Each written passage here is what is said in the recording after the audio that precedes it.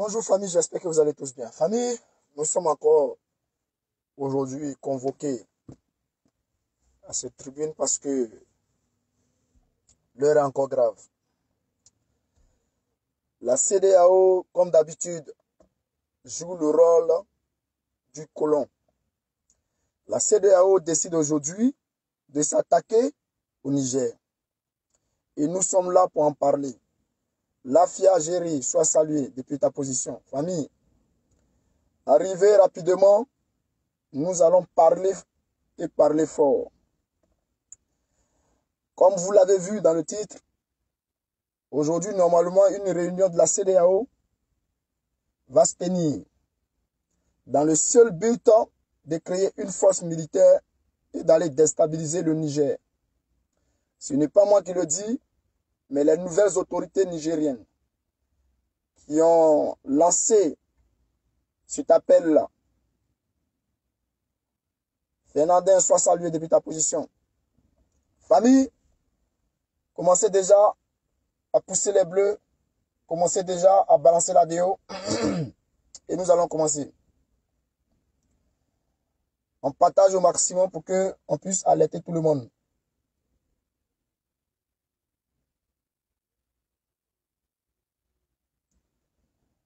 L'heure est vraiment grave. L'heure est très, très, très, très grave.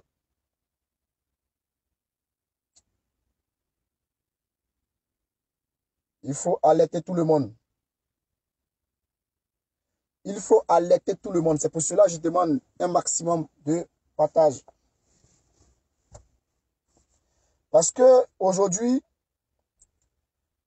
j'ai l'impression que il y a des personnes qui décident de se délivrer, de, se séparer des dominateurs.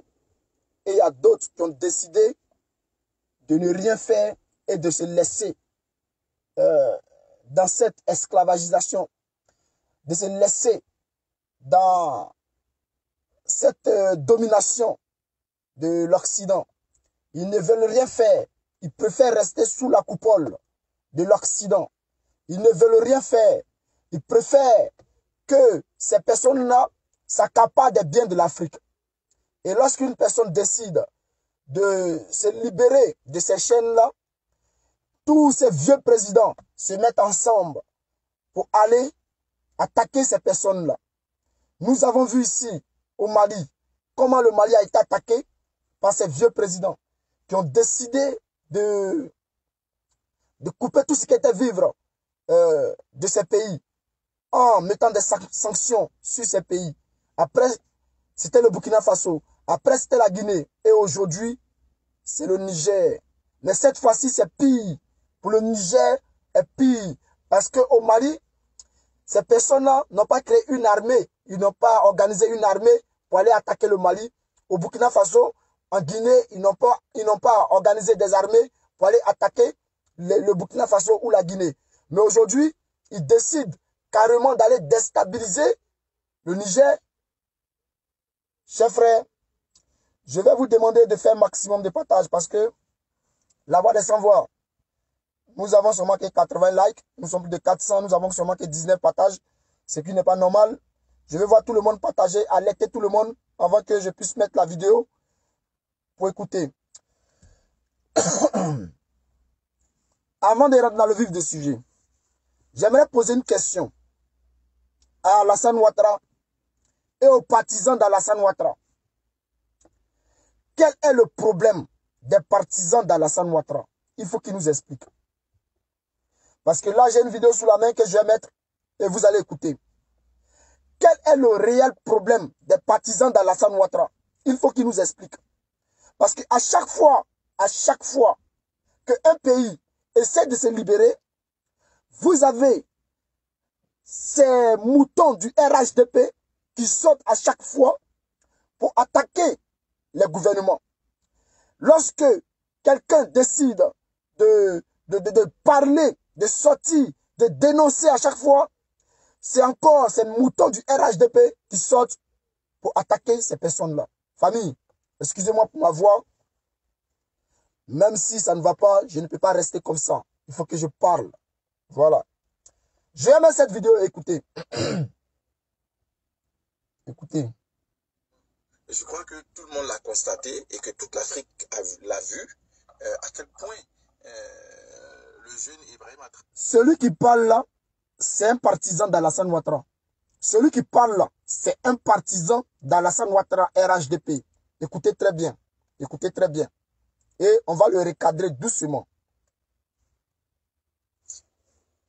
Euh, très rapidement, je crois que tout le monde l'a constaté et que toute l'Afrique l'a vu, euh, à quel point euh, le jeune Ibrahim Traoré a fait preuve d'immaturité et a fait preuve d'inexpérience aussi et surtout, il a fait preuve d'inculture. Ok? D'abord, ce monsieur que vous voyez, ce monsieur que vous voyez là, il est plus vieux que Ibrahim Traoré. Ce monsieur que vous voyez, il est plus vieux qu'Ibrahim Traoré. Mais ce monsieur que vous voyez, il a passé toute sa vie à glorifier un être humain qui est Alassane Ouattara. Il a passé toute sa vie à chanter Alassane Ouattara. Il n'a rien eu dans sa vie, il n'est rien devenu dans sa vie. Il a échoué dans sa vie. Lui-même ne sait même pas pourquoi il est né. Et aujourd'hui, il passe son temps à adorer Alassane Ouattara. Et lui se met à insulter Ibrahim Traoré. Quelqu'un qui est son petit frère, qui est président d'un pays. C'est-à-dire son petit frère est président d'un pays, gouverne des millions de personnes. Et lui, cet imbécile-là, qui ne connaît rien, qui ne fait qu'adorer Alassane Ouattara, se met à insulter Ibrahim Traoré. Famille, mettez les cœurs. Allumez les cœurs, s'il vous plaît. Allumez, allumez. Il dit que Ibrahim Traoré a fait preuve d'immaturité, d'inculte. Il a insulté et tout. J'aimerais dire à cette personne-là que c'est quoi il appelle immaturité? J'aimerais lui poser la question, c'est quoi le vieux? Vieux, c'est quoi tu appelles immaturité? Parce que quelqu'un qui est immature, c'est quelqu'un qui fait des trucs bêtes, bêtes. Quelqu'un qui est immature, c'est quelqu'un qui fait des trucs bêtes, bêtes. Soit il fait exprès, soit il fait sans le savoir. Mais Ibrahim Traoré, devant le plus grand président du monde, qui est Vladimir Poutine, il allait, il a dit simplement que il faudrait qu'on arrête de tendre la main. En s'adressant à tous les présidents africains, le plus jeune des présidents a dit que il faudrait qu'on arrête de tendre la main à, chaque fois qu'émandé. Et que, que cela soit la dernière fois qu'on on vient en Russie et qu'on vient pour parler du blé. Cela, c'est être immature. Ça, c'est être immature. Ce qui a énervé, parce que lui qui parle là, il est venu défendre Macky Sall. Ce qui a énervé Macky Sall, c'est qu'en 2022, Macky Sall était allé commander du blé. En 2023, Macky Sall est venu commander encore du blé. Donc, Macky Sall s'est senti attaqué par Ibrahim Traoré. Or, Ibrahim Traoré ne parlait pas de Macky Sall. Ibrahim Traoré parlait plutôt de, l'Occident. Ces présidents européens qui disent que l'Afrique, si jamais la Russie n'arrête pas, euh, arrête plutôt de donner le blé aux Européens, les Africains vont avoir faim. Et lorsqu'on voit des présidents africains qui se déplacent à chaque fois pour aller en, chose, en Russie, pour aller demander à Vladimir Poutine du blé, alors Ibrahim Traoré, il est choqué. Il est choqué. Alors il dit ceci. Il faudrait qu'on arrête à chaque fois lorsqu'on vient ici demander du blé. Voici ce qu'Ibrahim Traoré a dit. Et ce vieux-là, qui n'a rien compris, malgré qu'il est chauve à son âge, il n'a rien compris. Il ne savait pas de quoi Ibrahim Traoré parlait. Pour lui, Ibrahim Traoré a été immature. Et que c'est Macky Sall qui a raison. Chers frères, continuez, allumez, allumez, allumez. Mettez les cœurs, mettez les cœurs, mettez les cœurs, balancez la vidéo partout, envoyez dans tous les groupes panafricains. C'est parti. D'une grande lacune du point de vue culture, diplomatique et tout. En voulant se jouer les pantins, en voulant se jouer les marionnettes devant Poutine. Ok. Voici quelqu'un qui dit que Ibrahim Traoré s'est joué les marionnettes devant Poutine. un, un partisan d'Alassane Ouattara qui dit que Ibrahim Traoré s'est joué les marionnettes. J'ai l'impression que ce vieux-là, ce vieux chauve-là, c'est l'eau qui est dans sa tête. Parce que quand on dit marionnette, j'ai l'impression qu'il ne connaît pas la signification de marionnette. Il ne connaît pas la signification de marionnette. Ce vieux imbécile-là, il ne sait pas de quoi il parle. Lorsque Ibrahim Traoré prend le pouvoir, il est le seul à dire que, à partir d'aujourd'hui, il ne travaille plus avec la France. À partir d'aujourd'hui, le pays qui va décider de venir travailler avec le Burkina Faso va marcher selon les règles du Burkina Faso. Voici quelqu'un comme ça qui traite Ibrahim Traoré de marionnette. Oh, Ibrahim Traoré est le seul président à venir au pouvoir à dire que lui ne travaille pas avec la France, il ne travaille pas avec tel pays, il ne veut plus de des personnes qui vont venir lui dire ce qu'il faut faire. C'est toi comme ça là. Tu vas traiter Ibrahim Traoré de marionnette Est-ce qu'il n'y a plus marionnette qu'Alassane Ouattara? Est-ce qu'il n'y a plus marionnette, président marionnette qu'Alassane Ouattara? Alassane Ouattara décide par lui-même, même pour organiser les élections dans son propre pays. Il est obligé d'aller en France. Pour nommer des ministres, il est obligé d'aller en France. Pour faire une chose au gouvernement, dans le gouvernement de Côte d'Ivoire, il est obligé de demander l'autorisation de la France. Et toi, tu vas venir parler d'Ibrahim Traoré? De dénigrer les autres chefs d'État. Il a même de faire passer les chefs d'État comme étant... Il dit que Ibrahim Traoré a dénigré les autres, les autres chefs d'État. Mais, attends, dis aux autres chefs d'État d'arrêter de quémander. Que à chaque fois qu'on vient ici, là, c'est pour demander du blé. Pour une fois, la prochaine fois, si on vient là, il faudrait que ça ne soit pas pour le blé, il faudrait que ça ne soit pas pour la nourriture. C'est insulter, c'est dénigrer. C'est dénigrer. Je ne vais pas m'attarder sur ce vieux, ce vieux con. Parce qu'on a des problèmes très urgents à régler. Parce que les partisans d'Alassane Ouattara, ils ont échoué dans leur vie. Ils ont échoué complètement. Ils n'ont plus rien à prouver. Ils savent que c'est la fin. Alors, tous ceux qui essaient de parler, qui essaient de sortir la tête de l'eau, il faut les attaquer. C'est pour cela. On va ignorer ce vieux con et on va aller, on va aller dans, on va aller au Niger. Chers frères, la CDAO décide. La CDAO décide. Bon, je vais mettre la vidéo, on va écouter. Et ensuite, je vais développer. Chers frères, écoutons ensemble. Ensemble, écoutons numéro 10. La CDAO envisage tenir demain dimanche 30 juillet 2023 un sommet extraordinaire à Abuja au Nigeria sur le cas Niger. L'objectif de cette rencontre est la validation d'un plan d'agression contre le Niger à travers une intervention militaire imminente à Niamey en collaboration avec des pays africains non membres de l'organisation et certains pays occidentaux. Nous rappelons une fois de plus à la CDAO ou tout autre aventurier notre ferme détermination à défendre notre patrie. Fait à Niamey le 29.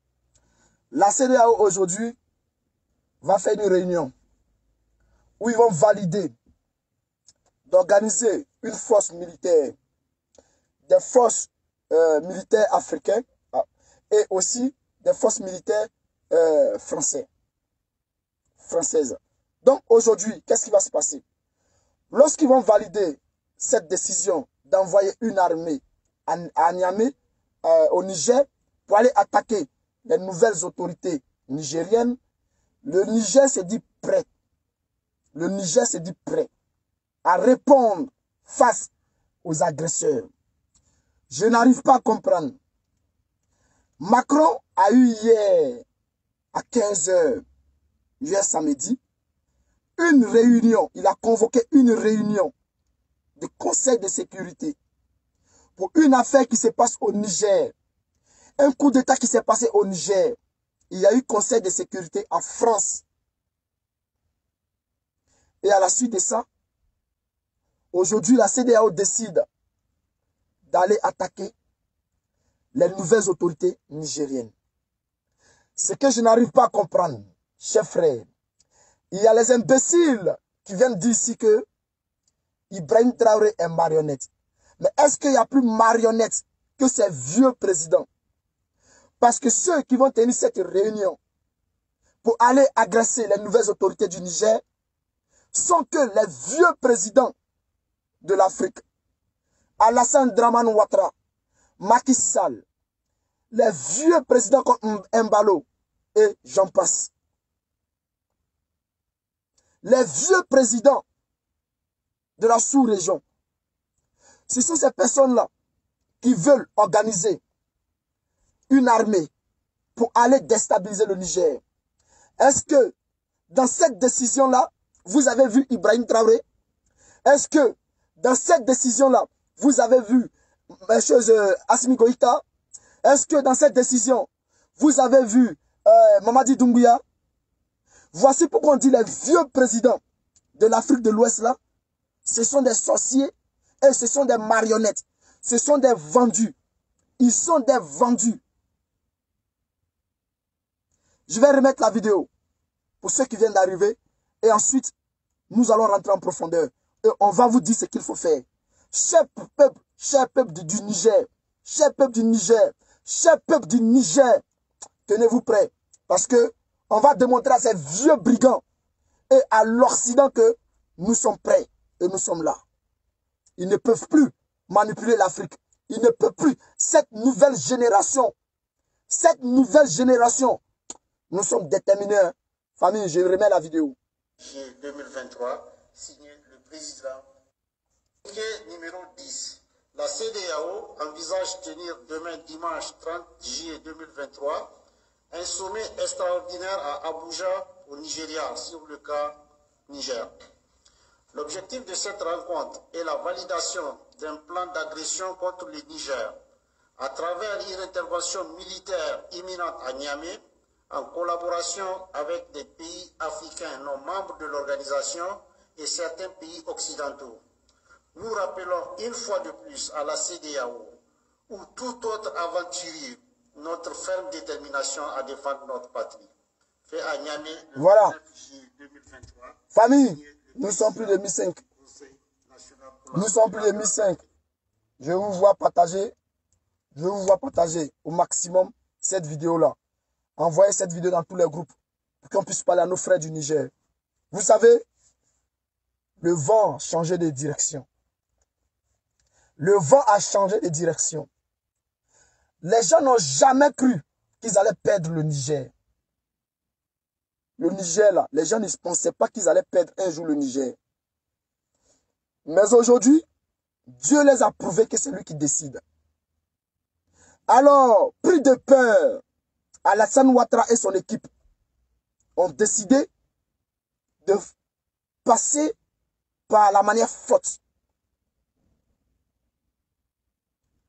Alassane Ouattara et ses partisans, ainsi que ses organisations et ses patrons ont décidé de s'attaquer au Niger.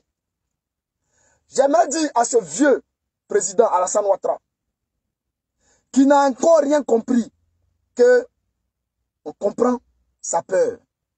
Parce que nous savons tous que après le Niger, forcément, le vent, le vent va frapper en Côte d'Ivoire.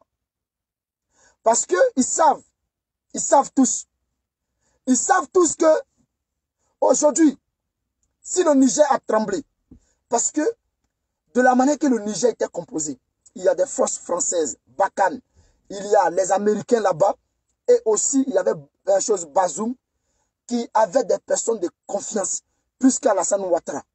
Mais c'est très étonnant, avec tous ceux qui étaient là-bas, avec tout ce qui a là-bas, que le Niger soit frappé et que la France perde le Niger. Ils sont tous choqués, étonnés. Alors, s'il vous plaît, chers frères nigériens, chers frères nigériens, il est temps de vous réveiller. Chers camarades du Niger, il est temps de vous réveiller, s'il vous plaît. barrer la route à la France. Barrer la route à la CDAO. De la manière que le Burkina l'a fait, de la manière que le Mali l'a fait, chef frère du Niger, réveillez-vous, battez-vous. Si jamais la CDAO annonce venir, bon, peut-être ils vont pas annoncer, parce qu'aujourd'hui, leur objectif, c'est de attaquer le pouvoir, déstabiliser le pouvoir. Alors, ils ne vont pas le faire comme ça. Ils ne vont pas annoncer qu'on arrive. Ils seront obligés de passer par un autre moyen pour venir attaquer. Soit, ils vont essayer de corrompre des militaires. Ils vont passer par ça d'abord. Des militaires nigériens. C'est pour cela, je demande à tous nos frères du Niger de protéger ce nouveau gouvernement. Faites barrage. Barrage à tous ceux qui vont essayer, qui vont tenter de déstabiliser ce nouveau gouvernement. Siaka Bakayoko, il dit, mon frère, va travailler. Siaka Bakayoko, je sais que peut-être je ne travaille pas, mais ton père là, le salaire que je touche chaque mois, ton père ne peut pas toucher, ta mère ne peut pas toucher, ta famille ne peut pas toucher cela. Et je te dis qu'on est dimanche. Si chez vous, vous travaillez dimanche, chez nous, on ne travaille pas dimanche. Voilà, merci à toi. Et bonne journée. Je ne t'ai pas appelé sur mon direct. Je continue et j'appelle toute cette jeunesse, toute cette jeunesse du Niger et tous les militaires du Niger, chers frères, chers parents, chers soldats, nigérien. L'argent que la CDAO va vous proposer, si jamais vous refusez cet argent et que vous vous battez pour le Niger non seulement vous allez devenir riche, pas avec l'aide, pas avec l'aide de la CDAO, pas avec l'aide de ces pays occidentaux, mais avec vous-même vos propres moyens. Je vous le dis. L'uranium, l'uranium, Niger là n'est pas un continent. Niger est un pays, un petit pays, bon, un grand pays qui possède l'uranium. Avec l'uranium, vous allez devenir riche. Vos familles vont devenir riches. Le Niger doit devenir riche. Le Niger va se développer avec l'uranium. Vous voyez l'Europe, chez les Blancs, où vous voulez partir là. Vous savez pourquoi ils sont développés aujourd'hui comme ça? C'est votre uranium. Ils ont volé. Et ils sont allés vendre. Et ils ont gagné de l'argent. C'est votre pétrole. Ils ont volé. Et ils sont allés vendre pour devenir riches, pour développer chez eux. C'est notre cacao, notre or, notre diamant, notre café, notre pétrole qu'ils ont volé. Ils ont volé l'Afrique. Et ils sont allés chez eux là-bas pour développer chez eux là-bas. Vous connaissez ce qu'on appelle centrale nucléaire? Centrale nucléaire. C'est-à-dire, si vous ne donnez pas votre uranium à la France, la France va dormir dans le noir. C'est-à-dire, on va se promener à les bougies, des bougies dans les maisons, comme au bon vieux temps. C'est à cause de votre uranium qu'il y a l'électricité en France. Est-ce que vous le savez ça? Vous êtes plus riche que ces pays-là. Alors, ne vendez pas votre pays. Ne vendez pas votre dignité. Chers frères du Niger, battez-vous pour votre dignité. Battez-vous pour votre uranium. Battez-vous pour votre pétrole. Chers frères, si vous vous battez, vous n'allez plus aller quémander. Bazoum, il est riche. Il a tout l'argent qu'il veut. Il veut devenir riche lui tout seul. Il veut vivre bien tout seul. Mais si vous, vous avez compris cela et que vous l'avez chassé, s'il vous plaît, battez-vous. Battez-vous. Il y a les gens qui disent aujourd'hui que vous faites coup d'état là même là. Ça change quoi dans vos pays? Regardez le Mali, regardez le Burkina Faso. Je vais vous dire que ne vous pressez pas. Parce que pour qu'un pays soit développé, la première des choses, c'est l'armée. C'est l'armée. Il faut que ce pays ait une armée puissante. Puissante. Capable de répondre aux agressions. Aujourd'hui, là, aucun pays dans la sous-région peut aller provoquer le Mali. Aucun pays dans la sous-région peut aller provoquer le Burkina Faso. Parce qu'ils ont commencé d'abord à s'armer pour pouvoir protéger leur pétrole, leur diamant, leur or. Chef frère du Niger, faites confiance aux nouvelles autorités. Demandez à ces, autorités-là d'aller s'allier à la Russie, de faire appel à la Russie. Parce que c'est la seule solution. Ce sont ces personnes-là qui peuvent vous donner des armes facilement pour défendre votre territoire. Quand vous seriez bien armé, quand vous serez bien armé, vous allez pouvoir vous défendre et vous allez pouvoir décider par vous-même. Vous, n'allez plus traverser l'eau. Vous n'allez plus prendre des miettes pour aller devenir terroriste. Ces jeunes qui deviennent des terroristes là, c'est à cause des miettes. Or, si vous vous battez pour votre pays et que vous gagnez de quoi manger là, vous n'allez pas vous battre pour ces occidentaux qui veulent déstabiliser le Burkina Faso, le Mali. Famille, allumez, allumez, partagez, partagez parce que les ennemis sont là. Ils ont commencé à signaler en tard. Il faut qu'on montre à ces personnes-là que nous sommes plus forts et que nous sommes plus nombreux. Donc allumez les cœurs, poussez les bleus, poussez les bleus, balancez la dehors dans tous les groupes. Je vous dis et je vous répète, cette guerre-là, nous allons la gagner. Cette guerre, nous allons la gagner. Chers frères du Niger, ne baissez pas les bras. Ceux qui vont faire des réunions aujourd'hui, là, ils savent. Ils savent. Ils savent que c'est fini. Ouattara Tram, Macky Sall il allait se confronter à Ibrahim Traoré, il a pris sa dose. Chers frères, surtout, ne baissez pas les bras. Aujourd'hui, lorsque cette réunion va avoir lieu et qu'ils vont valider leur décision d'aller s'en prendre au Niger, ils ne vont pas se lever aujourd'hui pour aller attaquer le Niger, mais ils vont se préparer. Dans les, il y a aussi plusieurs cas où ils vont essayer de corrompre des soldats nigériens pour aller attaquer leurs frères nigériens. Donc, il faut passer le message à tout le monde. Soyez prêts. Et surtout, la jeunesse du Niger, sortez nombreux. Sortez nombreux pour aller soutenir le gouvernement, comme le Mali l'a fait, comme le Burkina Faso l'a fait. Parce que si vous laissez les autorités seules, ils vont perdre la bataille. C'est grâce à vous qu'ils vont gagner.